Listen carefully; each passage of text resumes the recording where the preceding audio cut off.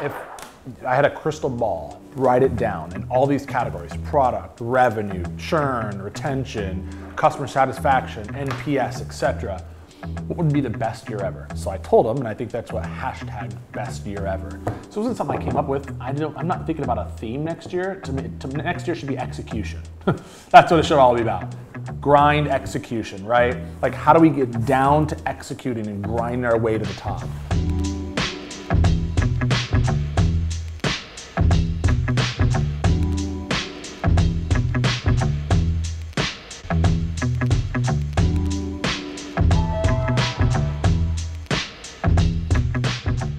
Think about balancing, and everyone says, hey, how, how, how, are you so balanced? Or how's the company so balanced? And you're never balanced, you're balancing.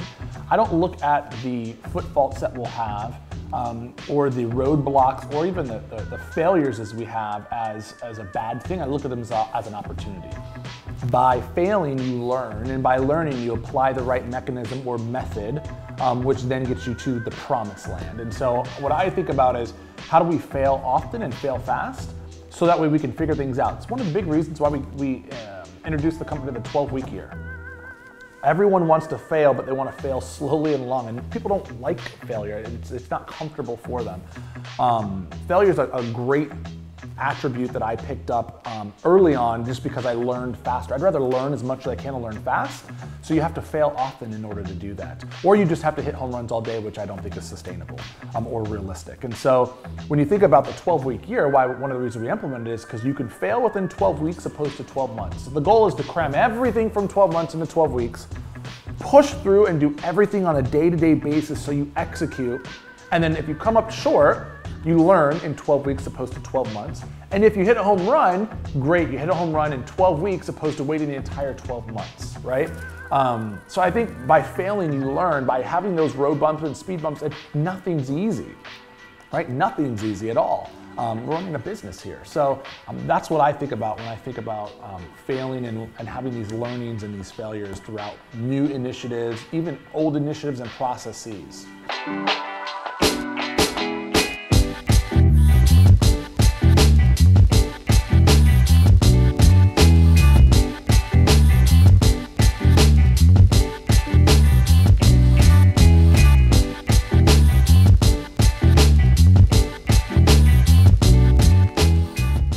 How do we build out and provide services that have to specifically help our users, which are currently right now brokers, uh, realtors, agents, transaction coordinators, admins, uh, assistants, etc.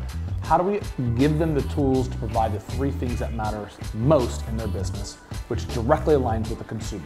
Speed, transparency, and trust. Did you really think you were gonna get a different answer? I mean, it's speed. How do we have a product that's gonna help them be as fast as possible? Because their user, the consumer, expects that, right? Transparency. What are you doing for me? I'm the consumer, I'm confused, I don't know what's happening. Lay out exactly what you're offering and what we're doing within the transaction, and not just the real estate transaction and not the realtor standpoint. Bring in my lender, right? Bring in my home warranty, bring in my title representative, bring in my insurance representative. How are you how are you actually doing what you say you're doing and how are you giving me back that data? I think about this like um, Uber. It's simple. I can look down and I can see where the Uber driver is coming, what corner, what car. It's very transparent. And then trust, and not just trust, trust beyond the transaction, long-term trust. So I think obviously for a, a consumer to do business with a realtor, there has to be some level of trust, hopefully, why they would use you.